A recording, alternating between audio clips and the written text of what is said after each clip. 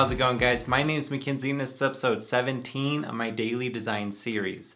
In uh, today's episode, I am uh, going to be redesigning Pinterest. So I'm going to start by uh, doing some user flow and mid-fidelity wireframes. I'm going to skip the low fidelity because honestly it's kind of boring to watch. But over the next few days, I'm going to be uh, designing various pages on the Pinterest platform.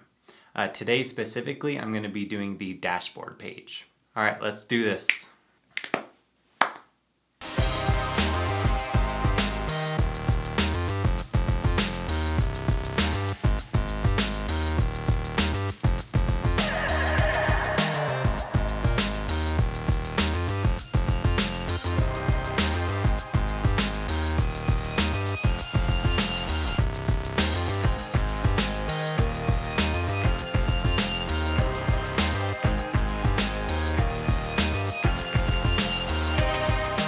Wanted to start with a user flow wireframe. The, the whole point of a user flow wireframe is to basically see how the user is going to flow through the site. This helps me think through all the various pages we need. A lot of times I uh, forget various things and uh, this just really helps me think through it more in depth. If you're interested in learning more about wireframing, I've created a video called the what, why, and how of wireframing and I'll link that in the descriptions so you can take a look. And if you're interested in picking up this wireframe kit, that includes the user flow as well as the wireframe elements to help you make quick and beautiful looking wireframes. You can visit mackenziechild.me slash wireframe to pick that up. And I'll of course link that in the description as well.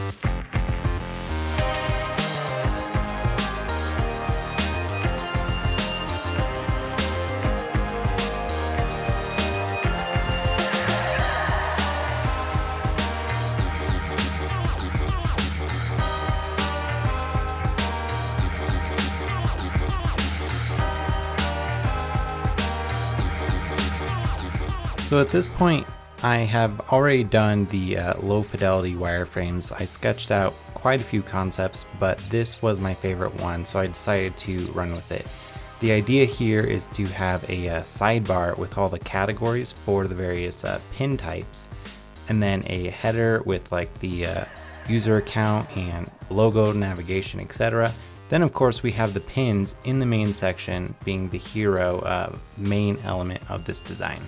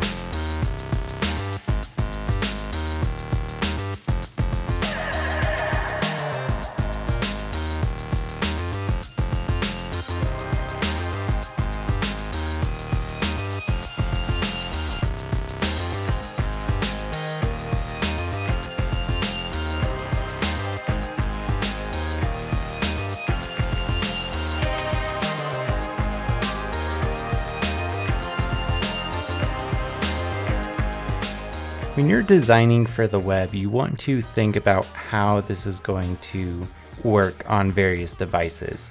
When approaching something like columns, you have two options. You can either, one, have it be a fixed width that when the viewport gets down to a certain size, it breaks and stacks, or you can have it be a fluid width that scales as the viewport shrinks. There's advantages and disadvantages to both. In this case, I would probably go with the fixed width and then have it break in the masonry style that Pinterest uh, already has set up. So that's just something you have to consider when designing for the web. You can't just think about designing for a single device. It really needs to work on various devices. So there's ways to go about that in the design from the beginning. You just have to be conscious about the decisions you're making.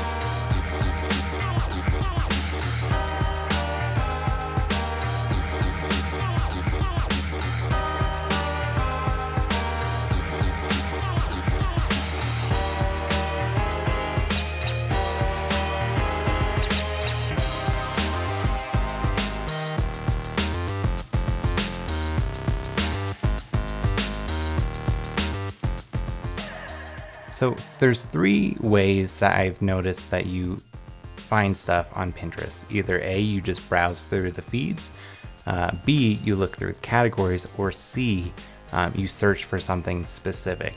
That's why I wanted to give this such a visual importance and allow the entire header to be the search input. So I thought it'd be really cool to have a dynamic placeholder text. Uh, so for example, the landscape photography, that might change to like men's fashion or women's fashion or just something random every time you refresh the page to show that there's just so much that you can find on Pinterest.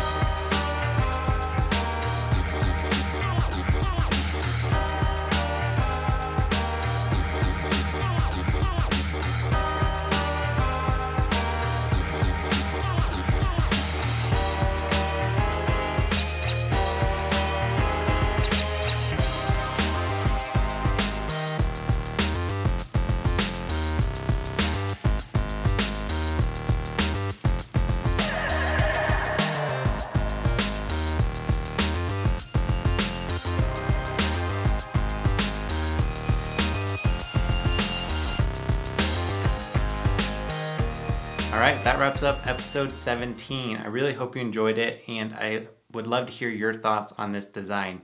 It's a bit different than what Pinterest currently has, but I think it came out really well. So I would love it if you got involved and created a daily design along with me. So I want to see your take on a, a, Pinterest dashboard. So if you create a design, be sure to add a link to it in the comments below so I can take a look. And of course, be sure to come back here tomorrow for another design.